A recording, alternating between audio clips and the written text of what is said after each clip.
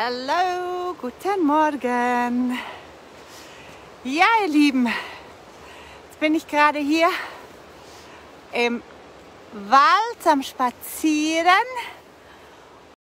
und auf dem Weg dahin ist mir eine Geschichte eingefallen. Und zwar, dass ich ja, ich bin an der Kirche vorbeigelaufen und mir ist eingefallen, als ich plötzlich, als mein Sohn vier war, das dringende Bedürfnis hatte, ihn zu taufen.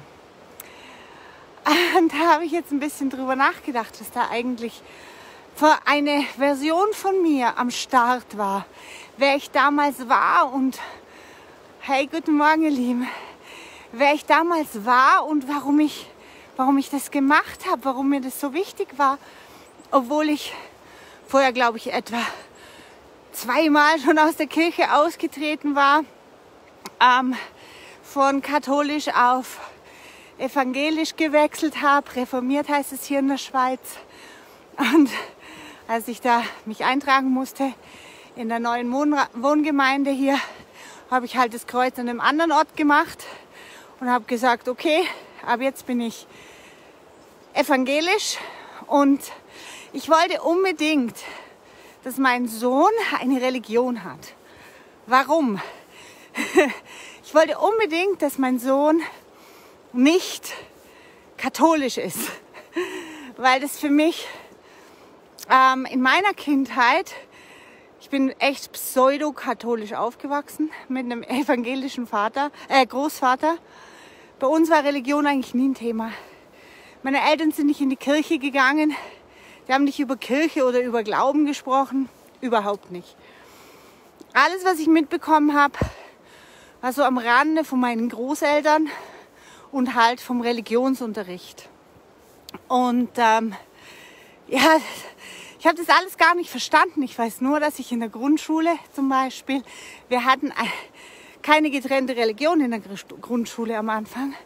Und wir hatten so einen wunderbaren Pfarrer, evangelischen Pfarrer, und der war so lieb und es war so wunderschön mit dem. Und plötzlich hieß es, ich und ein paar andere müssen die Religion bei einem anderen, nämlich jetzt dem katholischen Pfarrer, haben.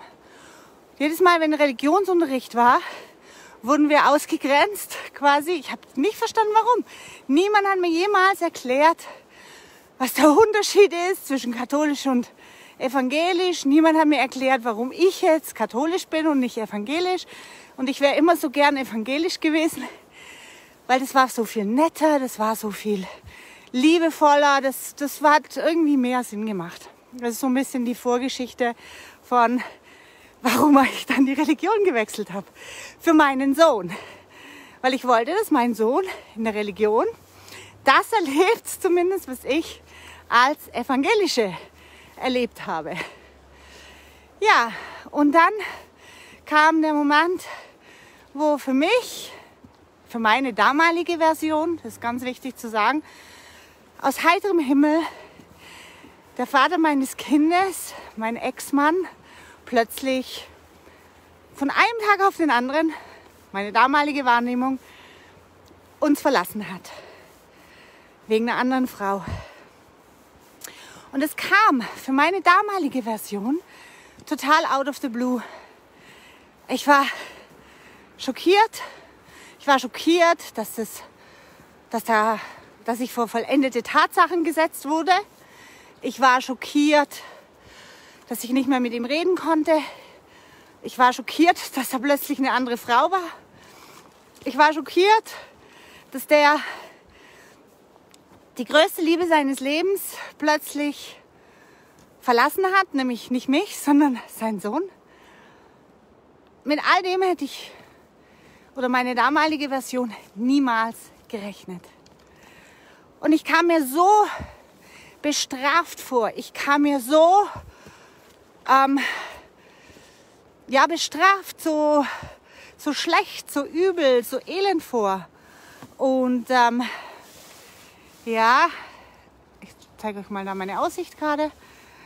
Ja, diese, diese Version von mir, diese bestrafte Version, hat irgendwie verstehen wollen, was sie falsch gemacht hat. Und irgendwann mal kam ich tatsächlich zu dem Rückschluss, dass ich bestraft werde, weil ich meinen Sohn nicht getauft habe. Ich kam zu dem Rückschluss, dass ich Schutz bekomme, dass ich Unterstützung bekomme, dass vor allem mein Sohn geschützt ist, wenn er getauft ist. Das war in meiner Verzweiflung, war das irgendwie so das, wo ich dachte, so kann ich mich eingliedern, so kann ich mich in den Schutz der Gesellschaft eingliedern, wenn ich meinen Sohn taufen lasse, wenn ich ein braves Mädchen bin, wenn ich das tue, was man hätte tun sollen.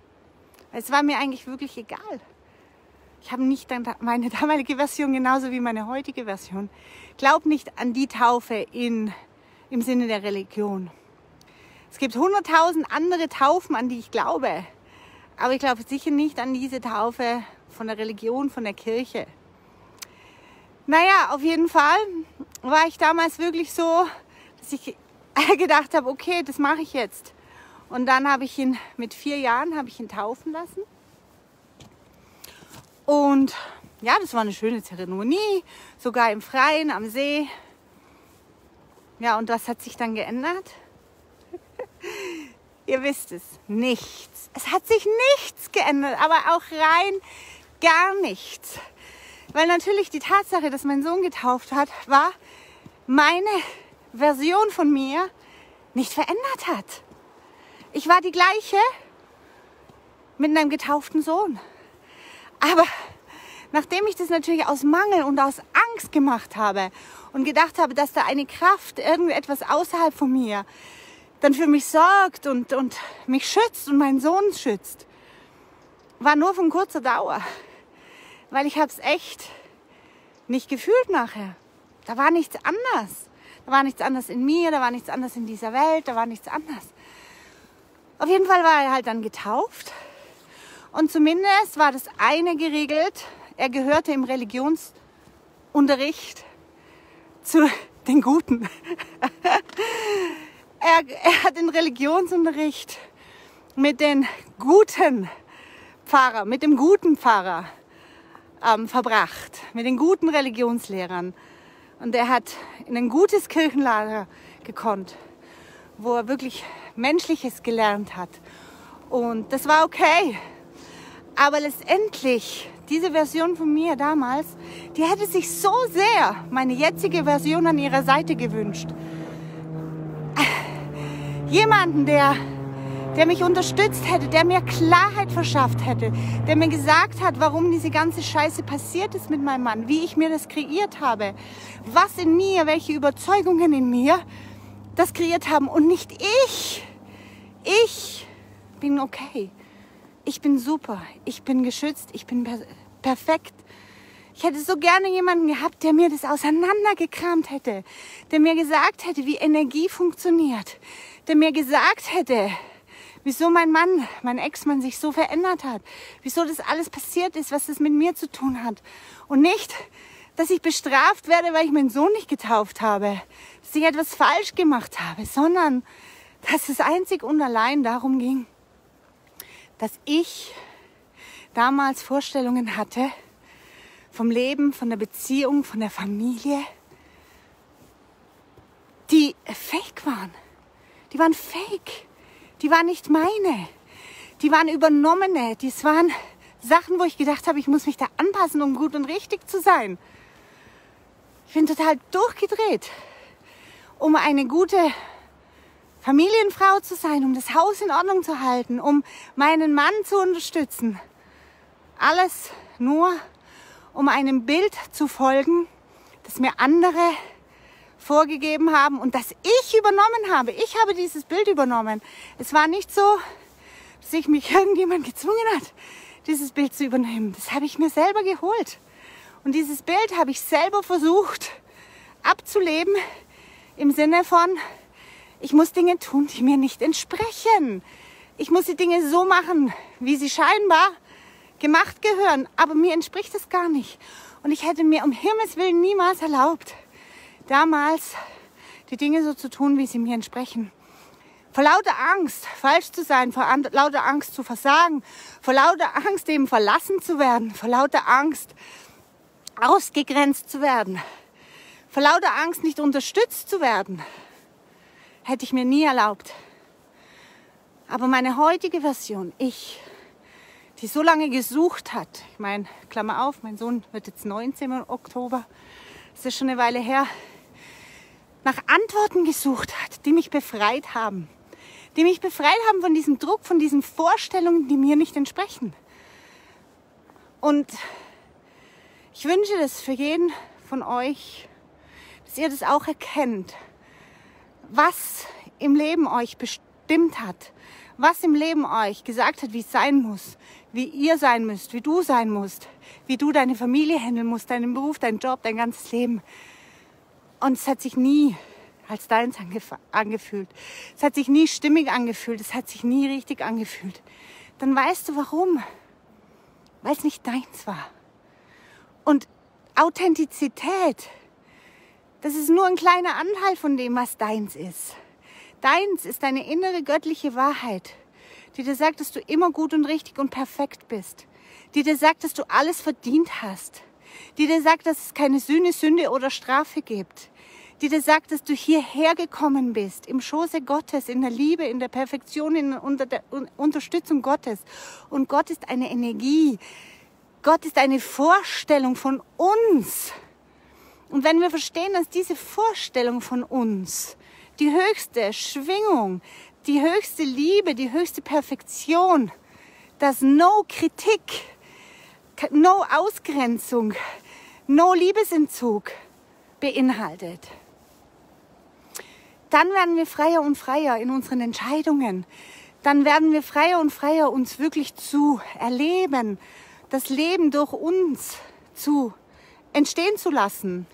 So wie wir es wollen, wie es uns entspricht, wie es unserer Wahrheit entspricht, unseren wahren Werten, nicht den Werten der Gesellschaft. Und deswegen ist es ja auch so krass, wenn dich einer manipulieren oder kontrollieren will, dann packt er dich an deinen Werten, dann packt er dich an deiner Ethik und sagt dir, dass es unethisch ist, dass es nicht den Werten entspricht, wie man ist, um dich dazu zu zwingen, eine Bedingung zu erfüllen, die ein anderer gesetzt hat, weil sie ihm dienlich ist, seinem Business dienlich ist.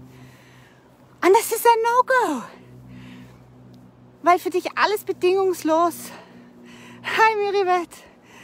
Weil alles für dich bedingungslos zur Verfügung steht.